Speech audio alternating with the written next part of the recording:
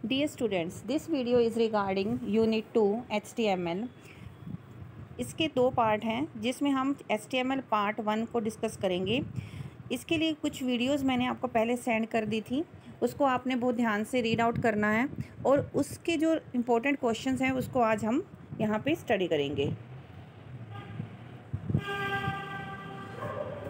First question है write the full form of H T M L hyper text markup language what is H T M L H T M L क्या होता है? H T M L is a markup language which is use to design the layout of a web page and to specify the hyper link H T M L एक markup language होती है जिसका use web page के design को तैयार करने के लिए या उसका स्ट्रक्चर कैसा होगा, उसका लेआउट कैसा होगा, वो तैयार करने के लिए इसका यूज़ किया जाता है। And to specify the hyper link और उसमें जो आपके लिंक्स क्रिएट किए जाते हैं, जिसे हम हाइपर लिंक्स कहते हैं, जिससे अनदर पेज आपका ओपन होता है उसे हम एस एल लैंग्वेज कहेंगे।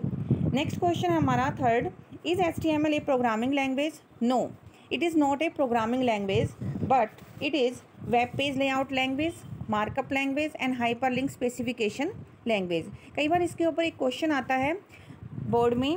आपसे पूछा जाता है वन मार्क का क्वेश्चन कि क्या ये मार्कअप लैंग्वेज है? तो आपका आंसर येस होना चाहिए।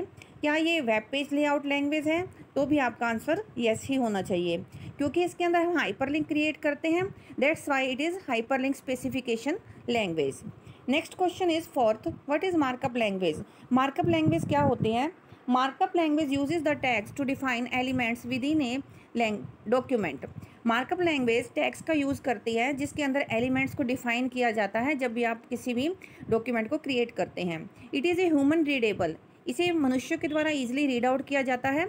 Means markup files contain standard words rather than typical programming syntax देखिए, कोई भी एक पर्टिकुलर लैंग्वेज है, चाहे आप सी यूज़ कर लीजिए सी प्लस प्लस कर लीजिए, उसमें क्या रहता है कि पर्टिकुलर सिंटेक्स आपको यूज़ करने होते हैं, कुछ पर्टिकुलर सिम्बल्स यूज़ करने होते हैं। तो इस लैंग्वेज में ऐसा कुछ भी नहीं है। इसमें आपको स्टैंडर्ड वर्ड्स यूज़ करने हैं, जैसे कि आपके टैग्स होंगे, और इनको ज़्यादा रिमाइंड करने की, आपको याद करने की ज़रूरत नहीं होती है। बिल्कुल ईजी इसके वर्ड्स होते हैं। नेक्स्ट है आपका fifth question what does tag refer to tag से क्या अभिप्राय है? A tag is a code H T M L command that indicates how part of web page should be display tag एक coded H T M L command होती है that means instruction होती है, जो कि ये बताती है कि वेब पेज पे आपका कोई भी पार्ट किस तरह से दिखाई देगा।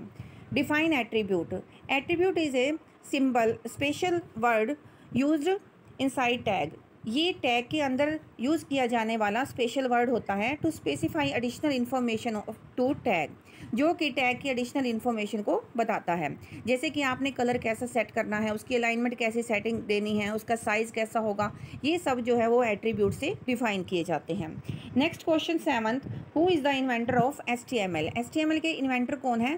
That is Tim Berners Lee eighth question है what was H T M L when was H T M L invented H T M L को कब इन्वेंट किया गया था?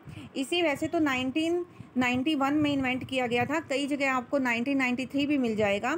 लेकिन जो इसका स्टैंडर्ड वर्जन था, वो एग्जिस्टेंस में आया था नाइनटीन नाइन्टी फाइव में, जो कि था H T M L two point zero version ninth question which type of brackets are use for tags in H T M L H T M L में जो आप टैग्स को use करते हैं, उसके लिए किस टाइप की ब्रैकेट का यूज़ होता है? ये एम सी क्यूज़ में इस तरह के क्वेश्चन आ जाते हैं कि राउंड ब्रैकेट यूज़ होती है या एंगल ब्रैकेट यूज़ होती है तो आपका आंसर होना चाहिए angle bracket is H T M L case sensitive language ये बहुत ही ज़्यादा इंपॉर्टेंट क्वेश्चन है। मोस्टली पूछा जाता है कि क्या ये केस सेंसिटिव लैंग्वेज है? H T M L is not case sensitive language H T M L tags can be written in capital as well as small letters H T M L case sensitive language नहीं है। इसका means ये हुआ कि अगर आप capital में कोई भी टेक्स्ट को लिखते हैं या उसे स्मॉल में लिखते हैं या mix of both both letters तो आपका ये कोई भी इफ़ेक्ट नहीं करता प्रोग्राम के ऊपर। जैसे आपको नीचे एग्ज़ाम्पल में दिया गया है हेड को कैपिटल में लिखा गया देन हेड को स्मॉल में लिखा गया एंड देन हेड को कैपिटल एच को हमने कैपिटल किया and then E A D को स्मॉल में रखा है। इन जो केस सेंसिटिव लैंग्वेज होती है, उसमें ये तीनों डिफर आएँगे, लेकिन नॉन केस सेंसिटिव लैंग्वेज में ये एक ही काउंट होंगे। नेक्स्ट है question number eleven write the accurate format of H T M L document structure H T M L document structure का एक्यूरेट फॉर्मेट आपको बताना है, ये बहुत ही इंपॉर्टेंट क्वेश्चन है। सबसे पहले, क्योंकि हम H T M L language start कर रहे हैं that's why we use H T M L tag and after that head section हम क्रिएट करेंगे। हेड सेक्शन में आपका टाइटल सेक्शन क्रिएट किया जाएगा। इसमें आपको टाइटल को स्टार्ट करना है। फिर जो भी आप पेज का टाइटल देना चाहते हैं, वो देने के बाद टाइटल को आप क्लोज करेंगे। यहाँ पे स्टूडेंट्स आप टाइटल को क्लोज कर देंगे बाई मिस्टेक रह गया है देन हेड को क्लोज कर देंगे। फिर आपका हेड क्लोज होने के बाद बॉडी सेक्शन स्टार्ट होगा। फिर जो भी आप वेब पेज पे कंटेंट शो करना चाहते हैं इमेजेस पिक्चर्स या कोई भी टेक्स्ट उसे आप यहाँ पे मेंशन कर देंगे। एंड देन वो सब करने के बाद आपको बॉडी सेक्शन को क्लोज करना है। And after that body section closed we will apply H T M L closed तो इस तरह से आपका ये स्ट्रक्चर क्रिएट हो जाता है। Now the question number twelve. Define H T M L tag. H T M L tag क्या होता है? H T M L tag identify the document as an H T M L document. H T M L tag ही बताता है कि आपका जो भी document आप क्रिएट कर रहे हैं, वो H T M L document है। And H T M L document begins with H T M L ये एस टी एम एल से स्टार्ट होता है और एंड होता है slash H T M L से। इसका जो जो एग्ज़ाम्पल है, वो आपको नीचे दिया गया है। H T M L start किया, फिर H T M L document से रिलेटेड जितनी भी लाइन थी वो आपको यहाँ पे मेंशन की गई एंड देन एचटीएमएल को क्लोज कर दिया। Next thirteen question is define head tag head tag contains information about the document including its title script use style definition and document description head tag के अंदर हम वो information देते हैं, जो कि डॉक्यूमेंट के बारे में होती हैं टाइटल भी इसके अंदर इंक्लूड होता है स्क्रिप्ट यूज़ कर सकते हैं आप कोई भी स्टाइल डेफिनेशन आपको देनी है वो दे सकते हैं या किसी भी तरह की डिस्क्रिप्शन डॉक्यूमेंट के रिगार्डिंग आपको देनी है, वो भी आप इसमें मैंशन कर सकते हैं। फिर उसमें जो आपका एग्ज़ाम्पल है, वो आपका आता है कि H then head header portion का जो भी आपको इन्फॉर्मेशन राइट करनी है वो देंगे एंड देन हेड सेक्शन को क्लोज कर देंगे एंड देन एस को क्लोज कर देंगे। जो हेड टैग है, कई बार इसमें क्वेश्चन पूछा जाता है, वो कहाँ पे इंसर्ट होता है, वो एस टैग के बाद हम इंसर्ट करते हैं। Next question is fourteen question define title tag title tag को डिफाइन करना है। Title tag contains document title इसके अंदर हमारे डॉक्यूमेंट का टाइटल दिया जाता है, यानी कि उसका नेम दिया जाता है। The title specified inside title tag appears on the browser's title bar ये एक इंपॉर्टेंट क्वेश्चन है। यहाँ पे आप अच्छे से नोट कर लेंगे कि जो टाइटल टैग के अंदर हम डिफाइन करते हैं, वही आपकी ब्राउज़र के टाइटल बार के ऊपर टाइटल शो होगा। It reside under under the header tag और टाइटल जो होता है टैग वो हेड सेक्शन के अंदर या हेड टैग के अंदर शो किया जाता है। फिर आता है आपका define body tag body tag very very important tag होता है। Body tag enclose all the tags attributes and information to be display in the web page web page पे जो भी आपने टैग्स एट्रीब्यूट या इन्फॉर्मेशन शो करनी है, वो सभी की सभी आप बॉडी टैग के अंदर इनक्लोज कर देंगे। मतलब उसके अंदर डाल देंगे और उसके बाद आपका बॉडी टैग क्लोज करेंगे। It is displayed after the closing of slash head यानी कि closing of head tag head tag को बंद करने के बाद इसे स्टार्ट किया जाता है। And above the closing S tag और जब अब एस टैग को बंद करना है, उससे पहले इसको बंद करते हैं। इसका जो है ना एग्ज़ाम्पल वो आपको यहाँ मेंशन किया गया है, देख सकते हैं आप। एस स्टार्ट किया देन हेड को स्टार्ट किया, फिर टाइटल स्टार्ट किया डॉक्यूमेंट टाइटल देने के बाद टाइटल को बंद करने पर हेड को क्लोज कर दिया गया। अब जब आपका बॉडी सेक्शन स्टार्ट हुआ, हमने बॉडी सेक्शन के सारे के सारे कंटेंट यहाँ पे राइट कर दिए देन बॉडी सेक्शन को क्लोज करने के बाद हमने हेड एच सेक्शन को यहाँ क्लोज किया है। Question sixteen write document structure of H T M L five H T M L five का डॉक्यूमेंट स्ट्रक्चर राइट करना है आपको। इसमें फ़र्स्ट जो आपकी लाइन है, वो एक्सक्लेमेटरी साइन डॉक टाइप जो कि कैपिटल में देंगे आप। एस टी एम एल आप स्मॉल या कैपिटल दोनों में राइट कर सकते हैं। ये करने के बाद नेक्स्ट आपका जो है H T M L language को डिफ़ाइन कर ले, करने के लिए हम लैंग वर्ड का यूज़ करते हैं और जो भी आपको लैंग्वेज इसमें डिफ़ाइन करनी है इंग्लिश यूज़ करनी है तो ई एन फ्रेंच यूज़ करनी है तो एफ़ आर इस तरह से आप लैंग्वेज डिफ़ाइन कर सकते हैं। देन हेड सेक्शन स्टार्ट होगा और उसके अंदर हम मेटा करेक्टर सेट देंगे, जो कि ये डिफ़ाइन करता है कि यहाँ पर इनकोडिंग स्टार्ट हो गई है। Then U T F eight का हम यूज़ करेंगे, जिसमें आपके नंबर ऑफ़ सिंबल्स या टेक्स्ट जो भी आप यूज़ करते हैं वर्ड के अंदर, वो सारे इसमें इनकोडिंग के लिए आप यूज़ कर सकते हैं। देन आपका टाइटल पोर्शन स्टार्ट होता है, इसमें आप डॉक्यूमेंट का टाइटल देंगे एंड एस जो आपका टाइटल पोर्शन है इसमें, उसे आप अब क्लोज़ करेंगे। देन आपका हेड सेक्शन भी क्लोज़ हो जाएगा।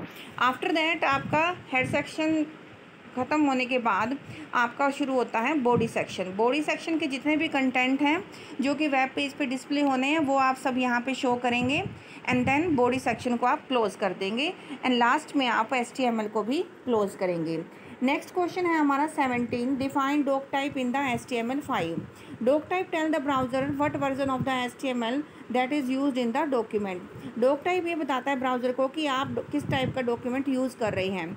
It must be displayed at the top of the document ये डॉक्यूमेंट के बिल्कुल टॉप मोस्ट पार्ट पर शो होना चाहिए। It is not an H T M L element ये H T M L element नहीं है। तो यहाँ पे ये आपका एक एम सी क्यूज़ में क्वेश्चन बन सकता है कि क्या डॉग टाइप एक एलिमेंट है? ट्रू फॉल्स में भी यूज़ हो सकता है। येस या नो के लिए भी यूज़ हो सकता है। तो आपका आंसर होना चाहिए नो तो एग्ज़ाम्पल आपको दिया गया है exclamatory sign doc type S T M L next question is eighteen question what is full form of S T M L L A N G lang equal E N यहाँ पे lang word को आपने define करना है lang stand for language nineteen question define U T F eight in S T M L five U T F eight covers all almost all character and symbol इसमें सभी के सभी character या symbol जो कि word के अंदर use होते हैं, वो सब इसके अंदर शो होते हैं। इट्स स्पोर्ट मैनी लैंग्वेजेज आप किसी भी लैंग्वेज के अंदर आप अपना प्रोग्राम राइट कर रहे हैं तो यू टी एफ़ एट उसको सपोर्ट करेगा। नेक्स्ट ट्वेंटियथ क्वेश्चन है।